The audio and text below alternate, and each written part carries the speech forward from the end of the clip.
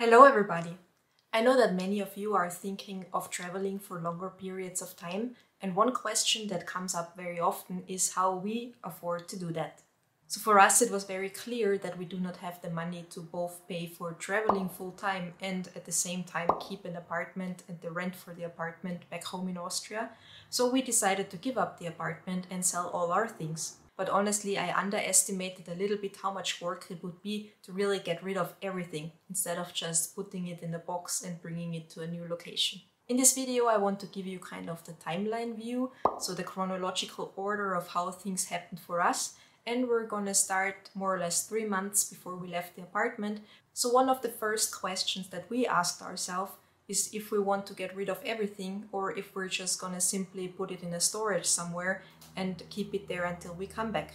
So we decided to give up everything because for us chances are high that we will not return to live in Austria. At first we thought of keeping the more expensive household things like the nice fridge we had and the washing machine and the dryer, but at the end, we figured before we pay for storage in Austria and then have those things transported to a new country in a year or two, that probably it would be just cheaper to buy a new thing there.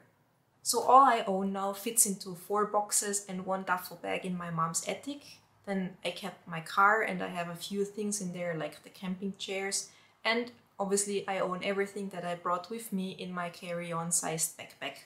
And if you are interested in what I brought on this trip here to Brazil, then just have a look at this other video that I did about my packing and I will link it down below. So after we made the decision to get rid of almost everything, we had to decide on the few things that we are going to keep. So I organized all the things I wanted to keep in modules. So just as an example, I have one module that includes all my winter clothes because I figured it would not be worth it to buy all my winter gear again if I come back home in the winter to visit my family in Austria. Then I have one module for all my long-term hiking gear. And I have two more boxes with things that I wanted to keep that has all my important documents and some uh, keepsakes and other things inside. So the next thing I did was to create the schedule, so kind of a rough overview of what I wanted to do when in the next three months. And all those dates I noted into a calendar. Then obviously I marked the day X into the calendar, which would be the day that we were leaving and we would hand the apartment back to our landlord. So really make sure that you plan enough time for the end because we thought we would give it two days for the renovations, but we were lucky that we added four days into the calendar because just experience shows that things always need longer than you expected. So after we planned for those days for the renovations, Basically, we had the day by when the apartment needed to be empty.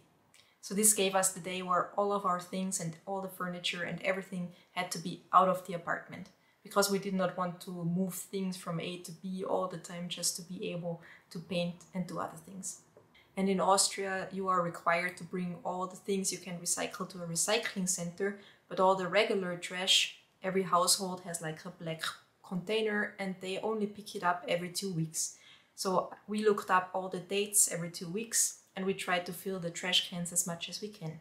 So also make sure that you keep some time to solve all these bureaucratic issues that are coming up. So for example, me and my husband, with our age, we moved in with my parents because we needed an address for things like bank accounts and the car registration. So we made sure that we reserved some time for that. And then we made a plan for where we would go after day X was over and that was the best part of the whole thing.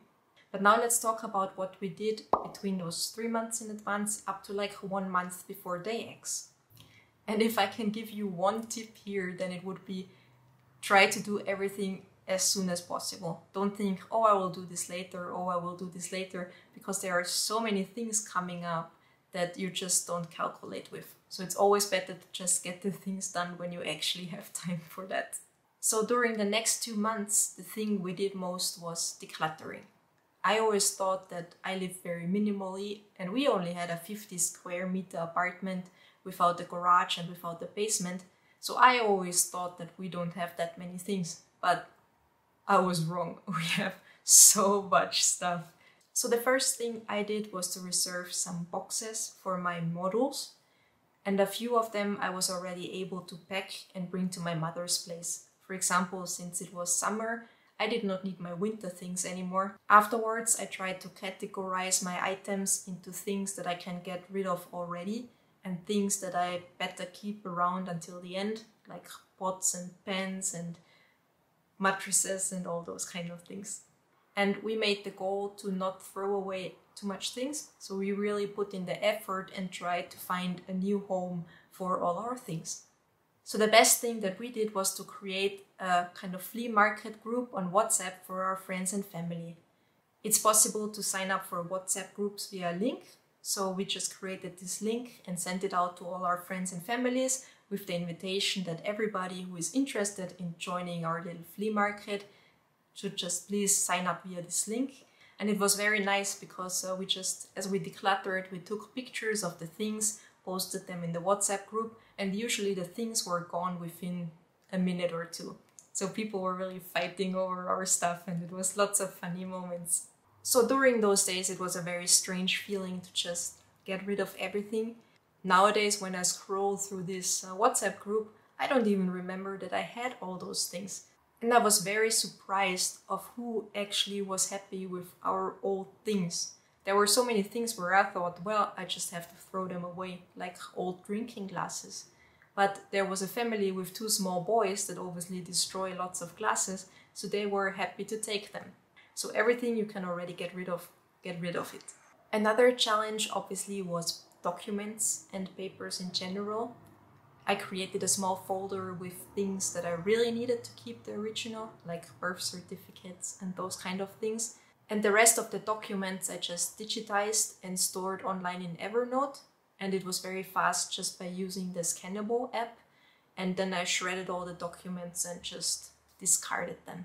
Another thing that surprised me was the amount of pictures that I had everywhere. There's a few CDs with pictures and a few old sticks with pictures. So I just collected them all and uploaded them in my Google Photos and organized it there in albums. And then the nice thing was that I actually got to share these old pictures and the albums with the people who were there. So many of them were actually very happy to see those old pictures again. And surprisingly, the hardest thing for me was to get rid of books because it just feels strange to get rid of books. I think I collected books my whole life and I never got rid of a single book. And that is strange because I basically read exclusively on my iPad since years. So I'm not even reading physical books anymore, but still I kept them all around. So with things like novels and stories, it was easy. I just gave them to friends who were interested. With all the books I had left over from university, there was a place from the student union to drop off old books and all the rest I made kind of um, thematic packages, like 35 productivity books, and I sold them for a very, very reasonable price. And then the last thing that we had to do was obviously to cancel all our subscriptions. So we did not have a TV, so for us there was no cable TV or anything to cancel, but we had to cancel the internet and things like electricity. So we did really well, and one month before we were actually more or less done with giving away all the non-essential things that we could get easily rid of. So now with only one month left to go, what we did was make a plan of how to sell our furniture and the essential things. We decided to give away all furniture except one dresser with a few drawers that we kept until the end. It was already a little bit battered up, so we did not feel bad about throwing it away in the end. And we were actually very happy that we kept it because it's very strange when suddenly every piece of furniture is gone and you have nothing to store any things anymore. So to make these things with selling the furniture easy, I created a page on Craft. Craft is my favorite note-taking system and I already posted a few tutorials about it. And one nice thing there is that you can share this page via a link that it generates. And I kind of made a rough timetable of which things I can get rid of first. So for example, it was not necessary for me to keep my dining table and the chair because we were just able to use the camping chairs and the foldable camping table that we have. And we sold the bed frame but kept the mattress. So I made it very clear when the pickup dates would be and I communicated that to all the people. And every time somebody was interested in my furniture, I made very sure again that they understood the pickup dates.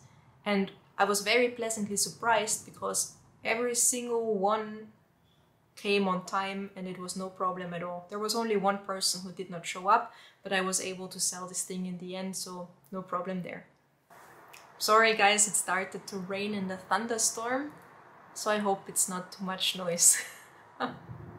and then more or less two weeks before day X was when it got really really busy. So my husband and I my husband and I created very long to-do lists and just tried to structure them into the days and every night we would update the to-do lists and just try to get as much stuff done as possible every day.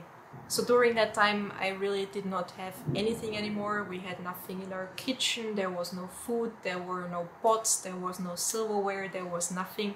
So very luckily we had family and friends who invited us over for lunch and dinner during those days. And as I mentioned before, we planned to have everything done before day X so that on day X we would just have to show up and hand over the keys.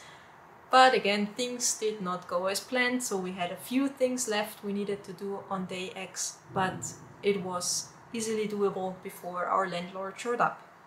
And once this was over, we were just done. So these were a few weeks that were extremely, extremely stressful.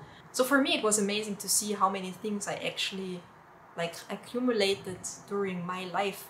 And I always thought I'm quite minimal and that I only had a small apartment, but there were really so many things. So since the thunderstorm is getting worse, I think I should come to an end. so thanks for watching and I'll see you in the next video. Bye!